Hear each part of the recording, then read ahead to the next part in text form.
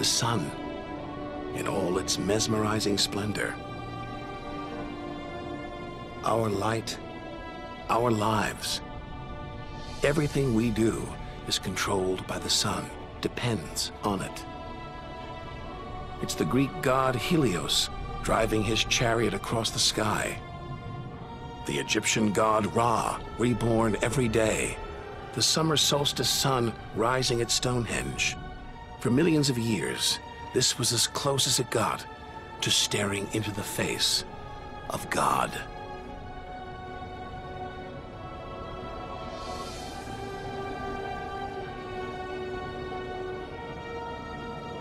It's so far away. If it burned out, we wouldn't know about it for eight minutes. It's so big, you could fit one million Earths inside it.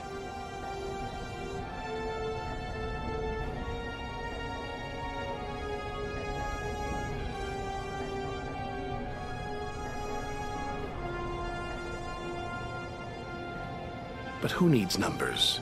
We've got the real thing.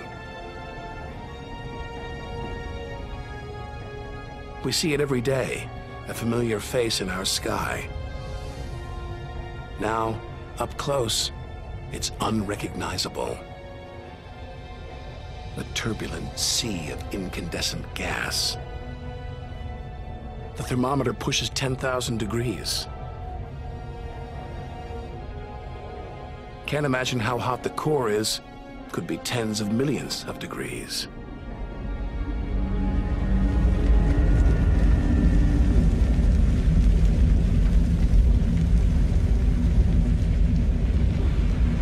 Hot enough to transform millions of tons of matter into energy every second.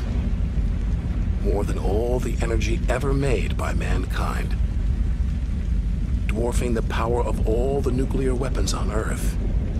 Back home, we use this energy for light and heat. But up close, there's nothing comforting about the sun. Its electrical and magnetic forces erupt in giant molten gas loops. Some are larger than a dozen Earths, more powerful than 10 million volcanoes.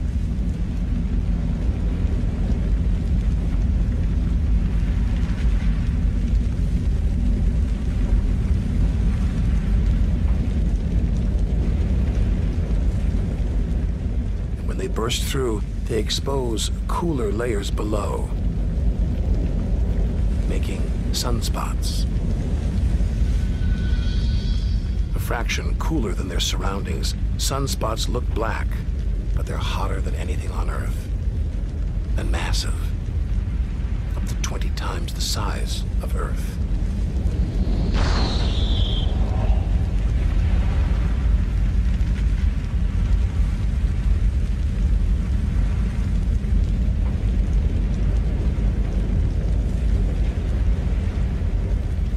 One day, all this will stop. The sun's fuel will be spent.